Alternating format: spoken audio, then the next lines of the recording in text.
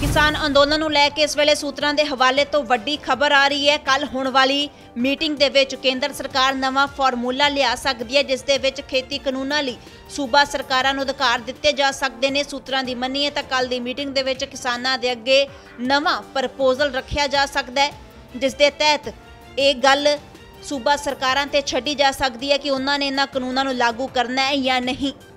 ਦੱਸਦੀ ਕਿ ਲਗਾਤਾਰ ਖੇਤੀ ਕਾਨੂੰਨਾਂ ਨੂੰ ਲੈ ਕੇ ਕੇਂਦਰ ਸਰਕਾਰ ਦੇ ਨਾਲ ਕਿਸਾਨਾਂ ਦਾ ਪੇਚ ਫਸਿਆ ਹੋਇਆ ਹੈ।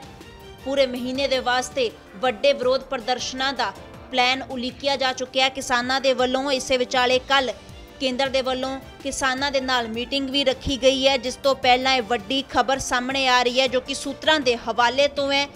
ਸੂਤਰਾਂ ਦੀ ਮੰਨੀਏ ਤਾਂ ਹੁਣ ਕਿਸਾਨਾਂ ਨੂੰ ਮਨਾਉਣ ਦੇ ਵਾਸਤੇ ਕੇਂਦਰ ਸਰਕਾਰ ਕੱਲ ਦੀ ਮੀਟਿੰਗ ਦੇ ਵਿੱਚ ਨਵਾਂ ਫਾਰਮੂਲਾ ਲਿਆ ਸਕਦੀ ਹੈ, ਜਿਸ ਦੇ ਤਹਿਤ ਸੂਬਾ ਸਰਕਾਰਾਂ ਨੂੰ ਇਸ ਦੇ ਅਧਿਕਾਰ ਦਿੱਤੇ ਜਾ ਸਕਦੇ ਨੇ ਕਿ ਉਹਨਾਂ ਦੀ ਮਰਜ਼ੀ ਹੈ, ਖੇਤੀ ਨੂੰ ਲਾਗੂ ਕਰਨੇ ਨੇ ਜਾਂ ਨਹੀਂ। ਦੱਸਦੀ ਕਿ ਹਾਲੇ ਇਸ ਦੀ ਕੋਈ ਪੁਸ਼ਟੀ ਨਹੀਂ ਹੋਈ ਹੈ, ਲੇਕਿਨ ਸੂਤਰਾਂ ਦੇ ਹਵਾਲੇ ਤੋਂ ਇਹ ਜਾਣਕਾਰੀ ਸਾਹਮਣੇ ਜ਼ਰੂਰ ਆ ਰਹੀ ਹੈ। ਦਿੱਲੀ ਤੋਂ ਨਿਤਿਨ ਤਿਮਾਨ ਦੀ report.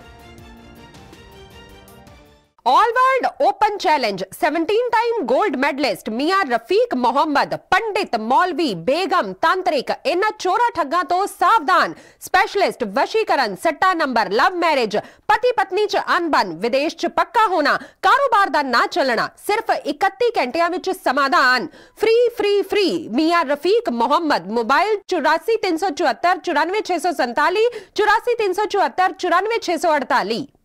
ਦੇਸ਼ ਦੁਨੀਆ ਦੀ ਹਰ ਵੱਡੀ ਖਬਰ ਦੇ ਲਈ ਹੁਣੇ ਡਾਊਨਲੋਡ ਕਰੋ ਨੰਬਰ 1 ਨਿਊਜ਼ ਐਪ ਦੈਨਿਕ ਸੂਰਾ ਟਾਈਮਸ